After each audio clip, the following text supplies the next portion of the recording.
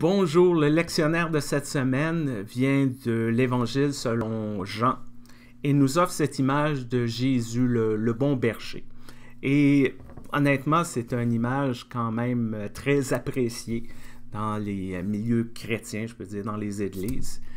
Mais encore une fois, la façon qu'on comprend cette image dépend beaucoup du contexte. Par exemple, si on vient d'un milieu plus euh, urbain, je pourrais dire, ben, on peut penser aux petits, petits moutons, là, euh, petit agneau cute là, que Jésus tient dans ses mains, puis qui, qui protège, puis ça donne une image très rassurante, quelque chose qui donne du, confort. Ceci dit, si on vient d'un milieu rural, ben peut-être que le mouton, c'est une source de, de revenus et protéger euh, ces moutons contre les agressions, contre les loups, puis de s'assurer qu'il n'y a aucun mouton qui, qui, qui, se perd dans les champs, ben c'est très important parce que perdre un ou deux moutons, ça peut faire la différence entre une perte d'argent ou un petit profit. Encore une fois, le contexte joue beaucoup dans tout ça. Et quand Jésus dit euh, Je suis le bon berger, ben, son contexte à lui, c'est euh, le Proche-Orient dans l'Antiquité, où l'image du berger euh, est associée à celui des rois, des, grands leaders, je pourrais dire. Euh, et ça, ça se trouve à travers beaucoup de cultures de la région. Un exemple de ça qu'on peut trouver dans, la Bible, c'est que David, le roi David, ben, il a commencé comme un berger quand il était jeune et il est devenu un des plus grands rois de son peuple.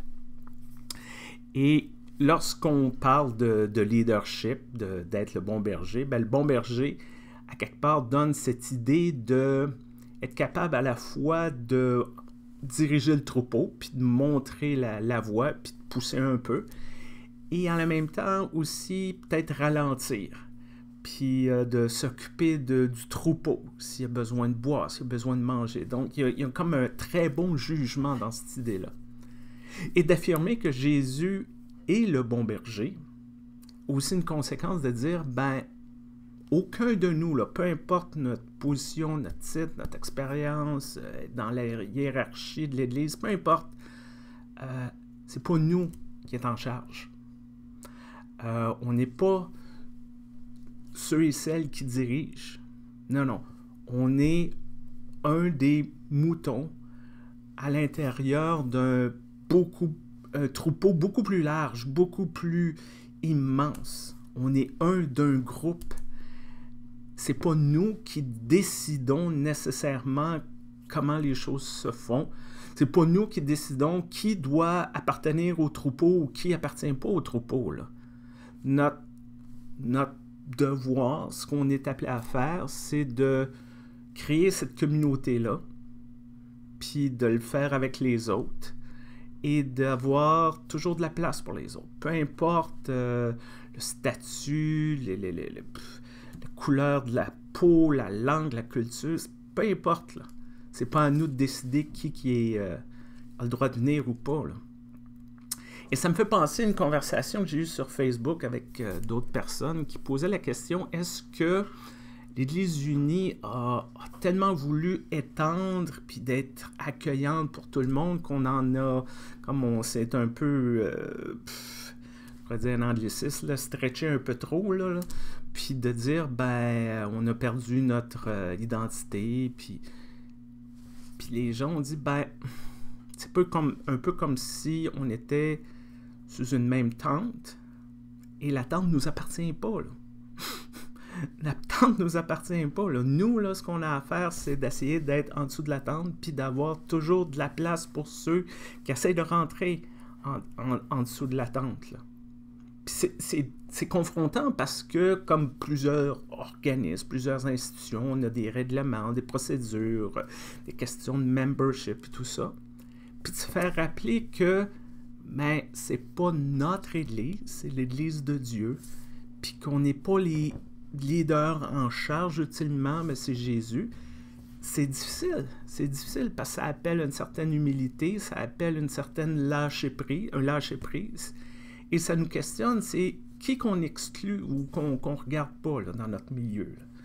avec tout ce qu'on fait, puis euh, qui, qui essaie de venir, puis que ça nous rend inconfortable. On ne sait pas trop quoi faire.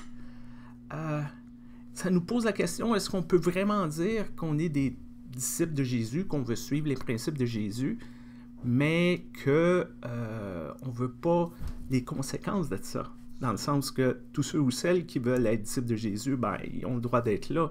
Puis pas juste ceux que ça fait notre affaire, là. Vraiment tout le monde, puis tout le monde, tout le monde. Pas juste euh, la, saveur du mois ou ce, ce qui est rentable politiquement, là. Tout le monde, tout le monde. Et c'est ça qui est difficile. Et c'est ça qui est confrontant. C'est ça que j'espère que vous allez être capable de, de vous ouvrir les yeux ou d'ouvrir votre conscience puis de dire ben est-ce que moi dans ce que je fais dans ma vie, mes pratiques, est-ce que ça exclut les autres ou ça les inclut? Est-ce que j'ai un mode de vie? Euh, est-ce que je participe à des groupes? Peu importe ce qu'on fait dans la vie.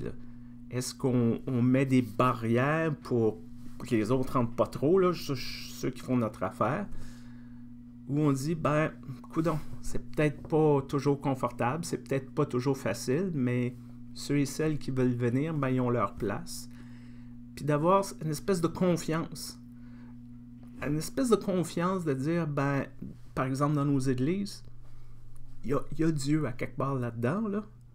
Fait que c'est pas moi Dieu. Si je comprends pas, si Dieu comprend, ben, coudon good enough for me, là, on dirait en anglais. C'est ça que je vous souhaite pour cette semaine. Aussi de faire attention à vous. Je vous souhaite que, je ne sais pas où vous êtes, mais ici, euh, le printemps s'installe très euh, tardivement. Il fait encore très froid. Donc, faites attention à vous. Restez au chaud. Portez-vous bien. Et j'espère à très bientôt.